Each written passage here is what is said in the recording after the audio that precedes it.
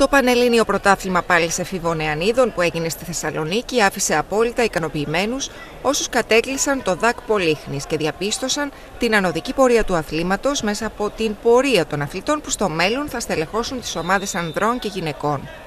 Η Ελληνική Ομοσπονδία διοργάνωσε στη Θεσσαλονίκη Πανελλήνιο Πρωτάθλημα μετά από περίπου 10 χρόνια και η απήχηση ήταν μεγάλη. Οι συμμετοχές που έχουμε μέχρι τώρα είναι 230 αθλητές και αθλήτριες ε, μετά από πάρα πολλά χρόνια βρισκόμαστε ξανά στη Θεσσαλονίκη για να γίνει ξανά ένα πανελλήνιο το οποίο έλειπε από την πόλη της Θεσσαλονίκης.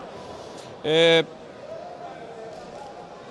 προσδοκούμε συνέχεια. Έτσι. Η φιλοσοφία τα τελευταία χρόνια της Ομοσπονδίας μας είναι ε, ανωδική. Ξεκινώντας από τα τμήματα τα μικρά των ε, μικρών παιδών, ε, παμπέδων, ε, και βλέπουμε ότι τα τελευταία χρόνια με τις επιτυχίες του Ευρωλαράκη, του Πιλίδη, του Παγκαλίδη εδώ του Θεσσαλονικιού μας, ε, σιγά σιγά οι κόποι μας αρχίζουν και αταμείβονται, έτσι. Οι αθλητές και αθλήτρες που συμμετείχαν έδωσαν τον καλύτερό τους σε αυτό και κέρδισαν με την αξία τους το ζεστό χειροκρότημα των φιλάθλων που γέμισαν το γήπεδο. Είναι μεγάλη χαρά που γίνεται στην Πολύχνη. Η τοπική αυτοδιοίκηση εδώ αγκάλιασε όλη τη διοργάνωση. Ηλικιακά τα παιδιά που αγωνίζονται εδώ πέρα στην κατηγορία των εφήβων είναι οι αυριανοί αθλητές που θα εντάξουν την κατηγορία των ανδρών, που θα ενταχθούν. Ήδη έχουμε πάρα πολύ καλά μηνύματα από τα παιδιά αυτά που παίρνουν μέρος εδώ. Έχουμε αθλητές οι οποίοι έχουν διακριθεί σε πανευρωπαϊκά και παγκόσμια πρωταθλήματα. Στα αγωνιστικά ο ΠΑΟΚ πρότευσε στην ελληνορωμαϊκή πάλι.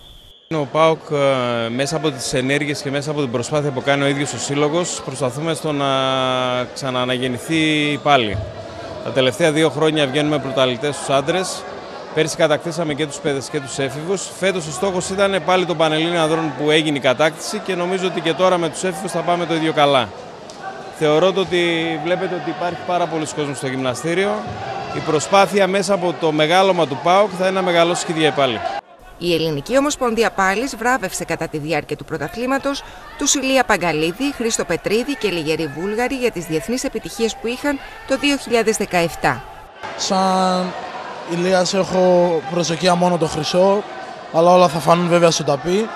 Γενικότερα περιμένουμε μια πολύ καλή διοργάνωση, όλα τα παιδιά να δώσουν το καλύτερό τους σε αυτό και ευελπιστούμε για το καλύτερο δυνατό αποτέλεσμα. Η Ευκαρπία πήρε την πρώτη θέση στην Ελευθέρα και στις Νεάνιδες πρότευσε ο ύφεστος Βαθύλακου.